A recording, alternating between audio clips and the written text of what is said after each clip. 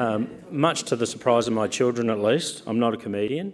My daytime job, I'm the HR manager at Taylor's Wines, and it's with a lot of pride that I say that the heart and soul of our um, business, which is our winery operations, is located here in the Clare Valley. As a HR manager, it's fairly easy to understand why the theme of this summer, which is the changing nature of work, is of particular interest to me. Like many others here today, I also have a young family in regional South Australia, and consequently, this further drives my interest in the changing nature of work. When I consider the topic of in industry engagement, I immediately think of the mutual benefits that are available to communities, government, and industry. With this in mind, imagine the possibilities in a scenario where industry, government, and training providers form a partnership that works towards a common goal. I believe that the Mid North Engineering Academy is a great example of how industry, government and education providers are working together to make positive change within our local communities.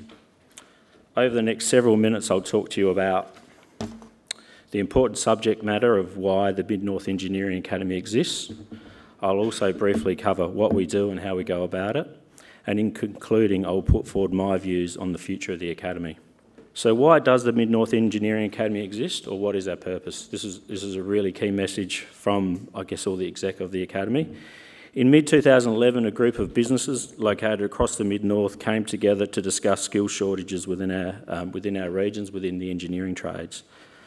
From these discussions, it was clear that we, local business, need to take more responsibility for these skill shortages. It was also clear that the image of engineering trades needed to be strengthened amongst students, parents and schools. We felt that many school leavers that move out of the region for work or further studies are simply unaware of the opportunities within engineering trades across the region. To work towards resolving these industry concerns, we felt that we needed to find a way to engage with high school students, government and training providers to promote engineering trades and career pathways that are available beyond engineering trades. This in turn would enable us to achieve our goal, which is to keep the best local students who aspire to careers in engineering trades within our local communities. The, the, Academy aims to achieve this goal via promoting engineering trades within our local communities, promoting career pathways that are available beyond engineering trades, developing and augmenting the knowledge and skill base of our students in order to ensure that they are exposed to the leadership and management opportunities that exist within their local industries. The Mid-North Engineering Academy is an industry-led initiative. Whilst we need more industry members, we should also recognise those businesses that are already involved. They're on the screen in front of you. The Academy is a partnership of local business and TAFE SA, administered under the auspice of Regional Development Australia, Yorke and Mid-North. The Mid-North Engineering Academy is unique. We're not aware of any other offerings like ours. So a little bit on how we go about it. The Academy is a one-year program of engineering study which commences in Year 11, Term 3. The Academy incorporates training at TAFE SA and partnering schools, work placements, wraparound sessions supported by our industry partners. The wraparound sessions are delivered by industry and include topics like lean manufacturing, quality and risk management systems, finance and costing, and communication skills. Students typically attend a one-week block of training each term at TAFE SA. Students also attend two weeks of work placements during their school holidays or as otherwise negotiated with their school.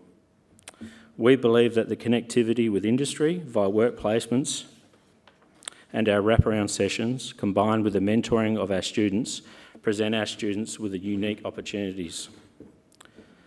The Mid-North Engineering Academy is open to any Year 11 student across the Mid-North, Lower North, Southern Flinders, Yorke Peninsula and Barossa Valley. The Academy is open to both government and independent schools. It is expected that applicants wish to pursue a career in engineering and manufacturing industries.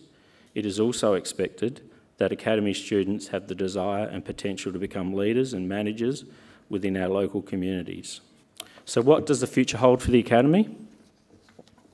Our first intake of students was in February 2012. It hasn't been an easy journey, and as a result, we're in the process of refining our business model, ready for our new Term 3 intake in 2017. Reg Dennis, who's here today, he asked me not to make him stand up. He's involved in the secondary learning Improvement Division within the Department of Education and Child Development, and he has been instrumental in helping us refine our program. In particular, the connectivity that Reg has with the schools has proven to be invaluable. The work that Reg has done is vital for our ongoing success. Industry commitment towards the Academy and our goal of keeping the best local students who aspire to careers in engineering trades within our local communities remains strong. I would like to add that the future of the Mid North Engineering Academy is entirely dependent on the ongoing support of industry. More members are needed. And of course, our partners, TAFE SA, Regional Development Australia, Yorke and Mid North, and the Department of Education and Child De Development. Students. Engineering trades offer great career pathways, and there's many examples of that within our local communities. And it's the same message to parents and schools and the broader community. Um, in closing, I believe that the Academy is a great example of how industry and education providers are working together to make positive change within our local communities. Thank you.